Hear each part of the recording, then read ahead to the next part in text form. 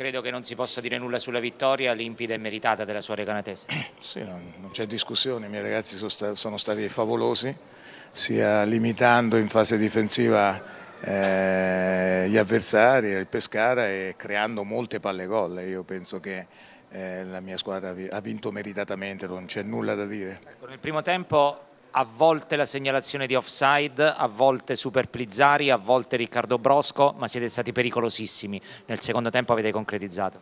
Sì, sì primo tempo secondo me è ingiusto finire 0-1 perché avevamo creato 4-5 palle gol, però chi è entrato è stato determinante perché ti dicevo anche prima Enrico c'è un gruppo di ragazzi fantastici che salirono sempre a 2000 all'ora, c'è un clima straordinario e questo ha fatto sì che eh, anche a volte sul due pari magari in modo isperato e invece ci credono sempre, perciò onore a loro, io cerco di fare meno danni possibili. La partita l'aveva pensata proprio così Pagliari, nel senso andare a colpire le lacune in fase di palleggio del Pescara, perdendo palle il Pescara lasciava tantissimo campo alle spalle e l'avete preso lì, l'avete colpito lì il Pescara. Sì, sì, conosco da tanti anni Zeman, eh, dovevamo eh, aggredire il centrocampo e ripartire dietro le spalle, ci siamo riusciti parecchie volte, naturalmente molte volte è stato anche Pescara pericoloso perché è una squadra forte con giocatori davanti veramente eh, forti, però devo essere sincero, sono molto felice, sono molto soddisfatto dei miei ragazzi. In studio con Massimo Profeta, Fabio Ferraresi c'è anche Luca Di Matteo, quindi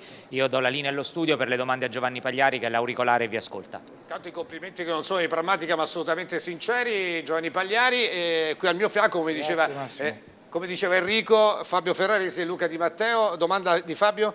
No, io al mister lo saluto, gli faccio i complimenti. Stamattina prima che arrivavate a Dragonara sono andato a trovare Ferrante, che è stato un mio ex compagno, e mi ha detto che le partite te le vuoi sempre giocare e oggi l'hai dimostrato ancora una volta e quindi sei sulla breccia, come si suol dire da tantissimi anni, non per caso e la partita è meritata la vittoria.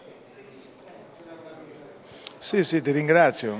Io penso che non c'è nulla da dire sul risultato, eh, ma soprattutto sulla voglia di giocarla. Cioè, io ho visto altre partite del Pescara, eh, noi siamo qui a giocarci, abbiamo creato 6 o 7 palle gol, abbiamo preso una traversa, noi ce la siamo giocata perché noi, noi, ce la giochiamo così, insomma, io lavoro per cercare e ci alleniamo per cercare la domenica di divertirci anche, non è che andiamo in guerra.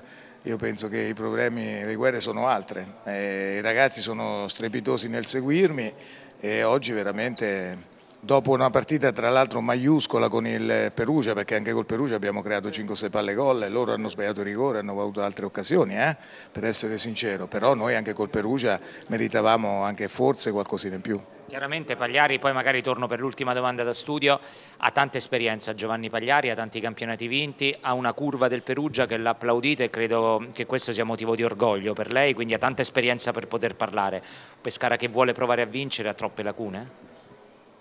Ah no, eh, io Pescara oggi ha trovato una squadra più forte, cioè, le... Non me ne voglio, ma se una Recanatese è più forte del Pescara vuol dire che il Pescara non può provare a vincere, senza nulla togliere alla Recanatese. No, il problema grosso, ripeto, lo dicevo ai tuoi colleghi, che quando si parla della Recanatese eh, viene in mente le poesie di Leopardi, invece noi chi ci segue da due o tre anni noi abbiamo dato spettacolo in tutta Italia e allora perdere con la Recanatese o pareggiare come il Perugia con la Recanatese sembra un'offesa.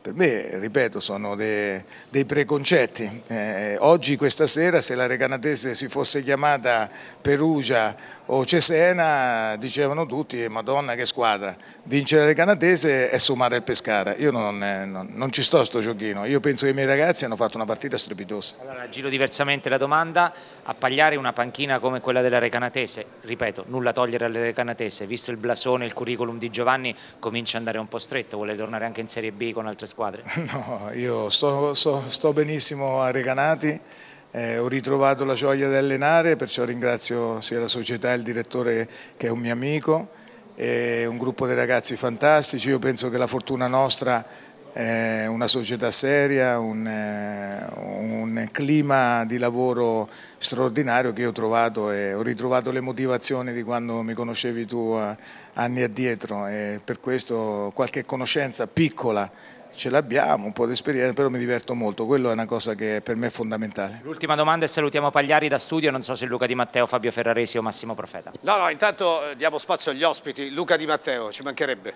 Buonasera mister, intanto la saluto con tanto affetto perché è il fratello del Ciao, mio, Luca. il mio storico procuratore Silvio ecco. Pagliari. Poi vabbè, mi accodo con, con Fabio e faccio veramente... Sono tre fratelli pesanti, Sì. eh? Giovanni, Silvio e Dino. e Dino, eh. sì, sì.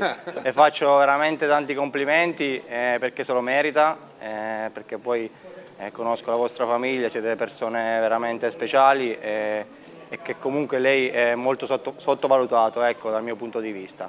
E poi eh, che campionato si aspetta dalla, dalla Recanatese, dalla- da voi? Che, che campionato avete in mente di fare quest'anno? Visto Ma che l'anno scorso noi, comunque... eh, noi se, sì, noi l'anno scorso c'è stata per un punto avevamo perso i playoff e poi il Siena ha perso tre punti. Noi, eh, ripeto, se eh, Luca, se alla penultima siamo fuori dai playout eh, andiamo a cena tutti a mangiare il pesce. Invita anche a noi Pagliari. Enrico sempre tu, senza bicicletta però sempre, ma noi l'obiettivo nostro della salvezza è divertirci ogni, ogni giorno della settimana e la domenica così, altri obiettivi non ce ne abbiamo. Complimenti.